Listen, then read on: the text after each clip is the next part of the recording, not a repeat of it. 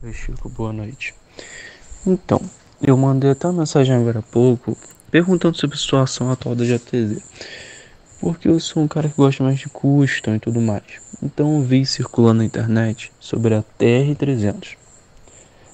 Aí eu queria muito comprar essa moto, só que o problema é a JTZ é muito lenta, muito lenta. E pelo fato dela ser lenta, eu não sei quando vai chegar. E eu tô pretendendo fazer algumas viagens aí, entendeu? Antes do final do ano.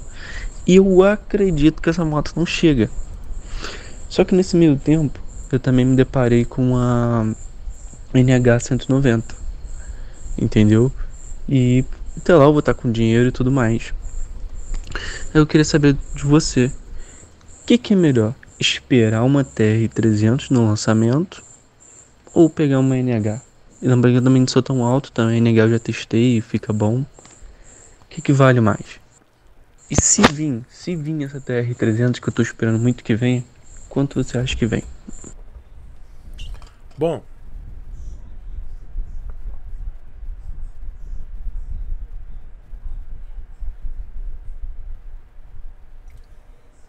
Fiquei o dia inteiro sem beber água, gente. É sério. Fiquei o dia todo sem beber água. É. Cara, TR-300 não. Eu, eu acredito, tá? O que eu tô fazendo aqui é uma. É uma suposição. É uma especulação. Mesmo eu tendo uh, o contato lá com o pessoal da JTZ, que eu mando meu beijo, a galera do marketing do JT, da JTZ, que são sempre muito atenciosos comigo, mesmo descendo cacete na JTZ, desse cacete mesmo. Mas a galera do marketing é sempre muito atenciosa. Eu acho que é isso que é legal. A empresa, ela não leva pro, pro lado pessoal, né? Ela entende que faz parte do negócio. Mas eu acredito, é, mesmo eu tendo essa boa relação, eu acho que eles não vão trazer esse ano a TR300, porque eles já vão trazer as ontes. E a JTZ, diga-se, tem que dar, é, tem que ser justa com a JTZ, eles fazem homologação com suas motos. Todas, todas as suas motos são, são homologadas. E a homologação da JTZ é uma, é uma homologação bem feita.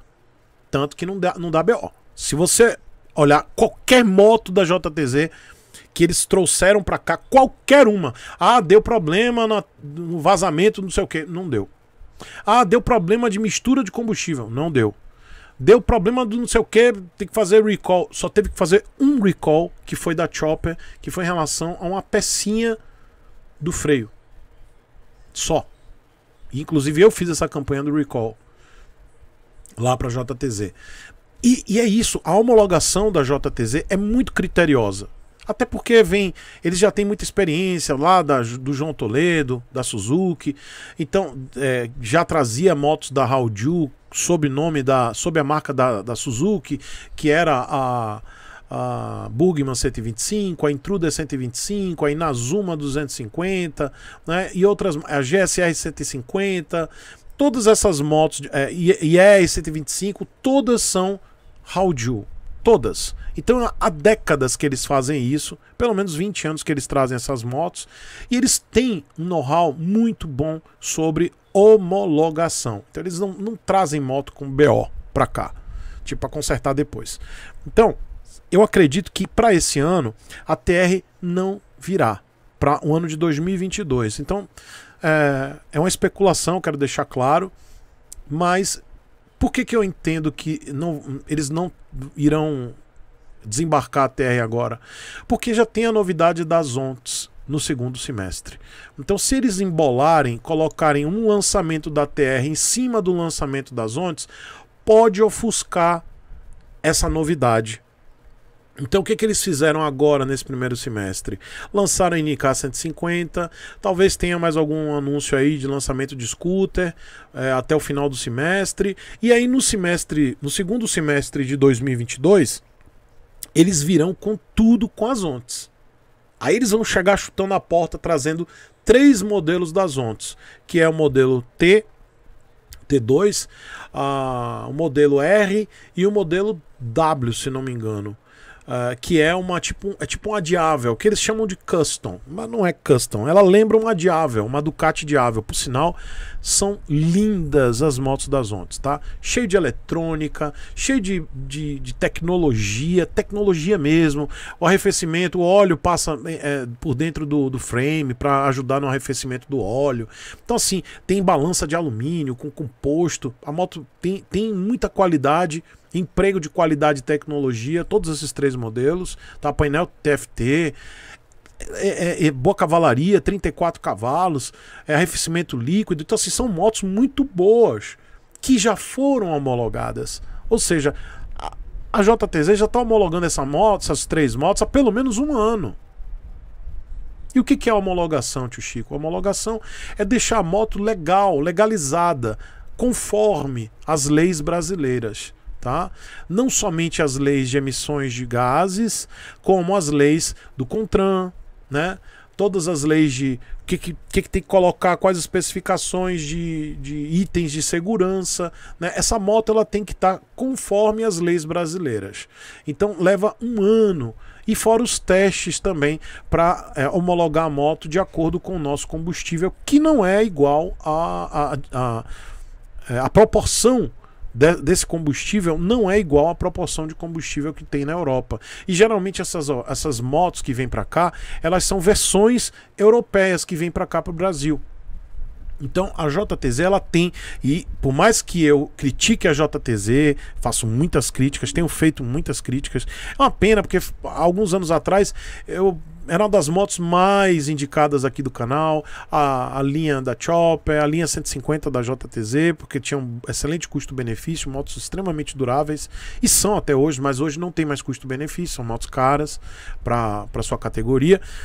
Mas eu precisava fazer esse vídeo aqui também para dizer que a JTZ é uma empresa muito criteriosa nessa questão de homologação, diferente de outras empresas aí que trouxeram moto, ficaram três anos aí com a moto no mercado, a exemplo da Royal, dando nome aos bois, que é meu patrocinador, Royal Enfield Campinas, e que a Royal Brasil cagou aí para Himalaia, trouxe aqui a moto, a moto ficou trincando aí a torta direita para todo mundo, inclusive a minha Himalaia trincou com 6.500 km.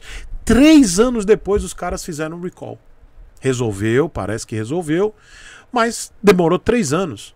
A Honda demorou quase 10 para poder resolver um problema da. quase 10 anos para resolver o problema da, da XRE 300. Hum. E a JTZ não tem nenhum relato de, de problemas do tipo. Então, pelo critério que eu vejo da JTZ, a TR300 ela só virá depois de um ano de homologação, todo o processo de, é, de, de, de, conformidade aqui no Brasil. E esse ano, se ela chegar, ela vai chegar e ofuscar o lançamento das três motos das Ontes, que eu acredito que venham três para cá para o Brasil, tá? Que será no segundo semestre. Dito isso, é uma questão é, de estratégia de mercado, tá? Eu estou deduzindo, isso aqui é uma hipótese, é uma especulação. Mas se a JTZ trouxer, eu não faria isso. Eu, particularmente, acho que é um tiro no pé, porque trazer as ondas e meter a TR300 vai embolar todo o meio de campo. Né? Vai embolar tudo. Mas, qual será o ponto negativo da TR300 chegando no Brasil? Preço a JTZ não consegue trazer uma moto dessa com preço competitivo. Então você vai, vai comprar uma TR300 a preço quase de uma CB500X. Então, mesmo que ela venha, e essa moto ela tem um, um, um powertrain incrível. Incrível. Cavalaria, torque a moto dá pau fácil na Meteor da. Pau que eu tô falando, não tô falando de velocidade, nada disso não. Tô falando da pau em conjunto, entendeu? Qualidade, é, custo, custo-benefício não, porque ela não, não vai ter custo-benefício, mas qualidade de acabamento, quali, é, performance, torque. É pau assim de, de longe na Meteor, mas não vale o preço que vai chegar. Ela vai chegar muito cara. Assim como a linha Zontes também vai chegar muito cara. Esse é o ponto negativo da, da JTZ aqui no, no mercado brasileiro. Ela não consegue mais trazer motos a preço competitivo. Mas eles são bastante criteriosos na hora de trazer moto para cá. Isso é o ponto positivo da JTZ. Então a resposta é: se você quer comprar uma NH 190, pode comprar. Não vejo problema nenhum, tá? É uma moto confiável, legal. Mas a TR 300, na minha opinião, não virá esse ano. E se chegar, pode chegar no segundo semestre de 2023. Mas é uma especulação. E essa aqui é uma singela homenagem e agradecimento a todos os apoiadores e membros deste que é o pior canal do YouTube. Pessoal, muito obrigado. O nome de todo mundo está aparecendo aqui agora e vai aparecer no final de todos os vídeos desse canal aqui. E se você gosta do conteúdo, quiser se tornar um membro ou apoiador, mas principalmente um apoiador, vai lá no apoia.se barra Chico Sepúlveda. E se você quiser se tornar um membro, toca aqui nesse botão embaixo, seja membro. Muito obrigado.